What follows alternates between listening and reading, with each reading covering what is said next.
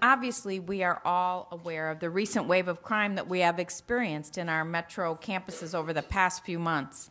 And as we'll hear, this isn't actually a new phenomenon. That unfortunately, our metro higher ed institutions have had to deal with this issue for years. Students fall prey to those with criminal intent. They recognize that students on campuses are often unsuspecting and more often than not carrying expensive items such as laptops and iPhones. What is new, however, and deeply disturbing is the boldness with which criminals are carrying out these acts. So, some of the common denominators uh, for the victims, um, and this is not victim blaming, but the victim can do so much to stop some of these uh, incidences from happening. A lot of times there's alcohol use involved. Uh, they're walking along uh, uh, sidewalks and alleys, very dark areas, late at night or early in the morning and the loss of these cell phones then occurred during that time. So we're working very hard at the second precinct, and in fact, all of our precincts, to educate everyone on how to stay safe. Walk in groups. Try not to, you know, have so much alcohol on board. Uh, walk in lighted areas. Don't walk in these dark alleys at night. Uh, call someone. Let them know that you're leaving and when you will arrive. We are working on our campus to, to finish converting building access from a manual process of locking and locking some of the remaining doors to an electronic access and expect to have that completed by the end of the school year with an investment of $1.5 million. We're also analyzing where more cameras in public spaces would be warranted and where we can improve lighting and landscaping to create safer environments. We have a lot of lighting on campus. Some lighting is more effective than others, and there are still some spots where we think we can add more.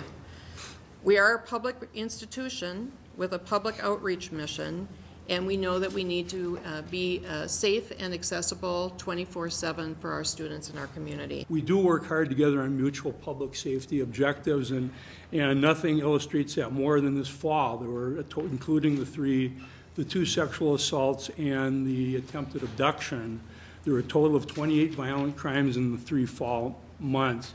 Of those, only three were on campus, but you know, over 50% of the victims were students. So the mutual interest uh, goes without saying, I would hope. Uh, so we've got a great relationship with MPD, and I don't expect that's ever going to waver. I would say in our campus master plan, one of our policies uh, and guiding principles is around creating a safe environment. And so it is consistent with the work we do on a year to year, frankly, day to day basis as we look at introducing projects. We think about access points, lighting, circulation.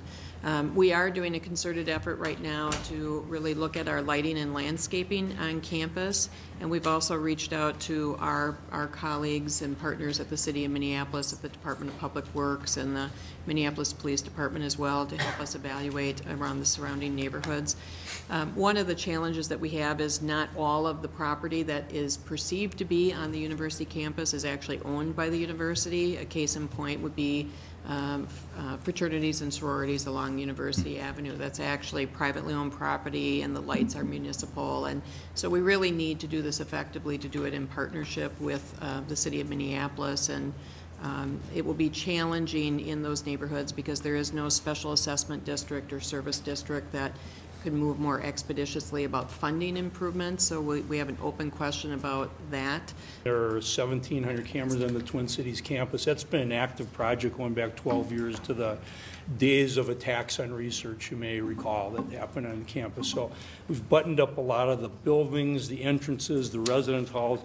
Uh, we were lacking to some degree in the public areas. So uh, among the three task forces my boss commissioned, one was when I'm chairing to look at our public area surveillance. And we've uh, uh, met and drafted a plan to uh, do just that, to kind of develop a perimeter plan which will, will mesh with the city. For example, Cedar Riverside, they've got six public cameras on Cedar, Augsburg. So we'd like to kind of knit the whole area together, the business community in Dinkytown Stadium Village. So uh, establish, get a good perimeter coverage, and then those um, formal and informal thoroughfares on and off campus, and certainly the light rail. We really don't have we don't have surveillance on Washington Avenue now, but transit will have cameras on the platforms, and we'll want to be able to observe the comings and goings from campus from that point.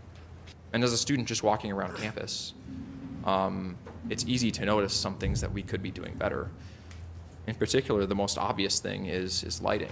Um, the areas where the most crime is happening are not well-lit areas in the neighborhoods of Dinkytown or Marcy-Holmes or, or Como. And so I'd look forward to strategies that the university and the city um, can take on together to make those areas more well lit. Um, we also understand that cameras can be an effective crime deterrent. We have a lot on campus, but I, I think those off campus neighborhoods that I mentioned would be areas where we could see more of that. Um, you know, and as been has been talked about quite a bit at this hearing already, an evaluation of you know where we need patrols and officers given the changing um, physical environment of our campus is something that really needs to be done. On November 24th, um, it was about between 3 and 3:30 a.m. I'm doing a round of the fraternity house, turning off lights. As I'm about to go, about to bed, and I see some activity happening on their lawn. So I grab a hammer, which I'm the house manager, so I have tools laying around the house, and I grab my hammer, go outside, and proceed to see what's happening. And I see two people, what looked like to be about to maul a student, and yell, hold on my phone, so I'm calling the police. Two the two guys fled away towards university, and the girl ran away, and I was unable to gain more information. Just went back, like went back inside. It was a very weird incident, but that is just one example. I know my friends have almost gotten mugged. Um, like one happened in the spring, and one happened a few weeks earlier, and they did not, but they because they were very smart and aware, but not everyone's so lucky. So some of the effects it's had on us is um, how people are walking. I know we've been changing our my routine, my routes. I've been staying inside. I'm not. I, did, I was going. Currently, the library is open 24 hours. I was going to go there last night, but instead I decided to stay in, partially due to the cold, and partially because I was probably leaving around 3:30, and that's not a good time to be leaving the library by yourself.